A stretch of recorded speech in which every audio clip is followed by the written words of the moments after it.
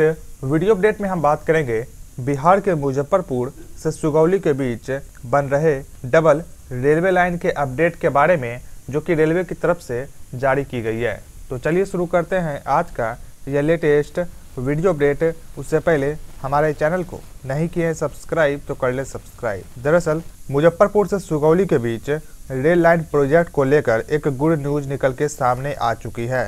बिहार के मुजफ्फरपुर से बनने वाला इस लाइन को जल्द से जल्द कंप्लीट करने का आदेश जारी किया गया है। मुजफ्फरपुर सुगौली रेल रूट का रास्ता अब साफ़ होता दिख रहा है और ऐसे में ज़मीन खरीद की प्रक्रिया लगभग कंप्लीट होने वाली है और इस प्रोजेक्ट के पूरे होने का भी रास्ता कंप्लीट दिख रहा है। ऐसे में ज़मीन अधिग्रहण को लेकर चौवन करोड़ रुपए पहले ही आवंटित किए जा चुके हैं और इसके अलावा अगर और अधिक राशि की आवश्यकता पड़ेगी तो रेलवे की ओर से भूअर्जन कार्यालय को उपलब्ध कराया जाएगा।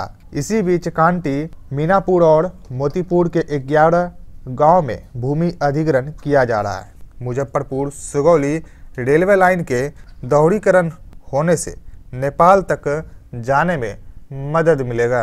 ऐसे में मुजफ्फरपुर, सुगौली रेलखंड पर चल रहे दोहरीकरण कार्य को लेकर मोतिहारी कोट रेलवे स्टेशन के पास एक विशाल पेड़ काटने के लिए निर्माण विभाग द्वारा दोपहर दो, दो बजकर पाँच मिनट पर शुरू किया गया जो कि पाँच बजकर पंद्रह मिनट पर कंप्लीट हुआ जिस वजह से तीन घंटे का ट्रैफ़िक और पावर ब्लॉक लिया गया। हालाँकि निर्धारित अवधि में कार्य पूरा नहीं हो सका और 30 मिनट का फिर से ब्लॉक लेना पड़ा जिसके चलते साढ़े तीन घंटे तक ट्रेनों का परिचालन बाधित रहा। इसी बीच मुजफ्फरपुर से नरकटियागंज जा रही सवारी, यानी कि पैसेंजर ट्रेन और महसी रक्सौल पैसेंजर ट्रेन को भी देरी से चलाया गया। वहीं नरकटियागंज मुजफ्फरपुर एक्सप्रेस ट्रेन को विलंब से रवाना किया गया। आने वाले नए ट्रेनों के लेटेस्ट अपडेट के साथ कई और जानकारी के बारे में बात करेंगे।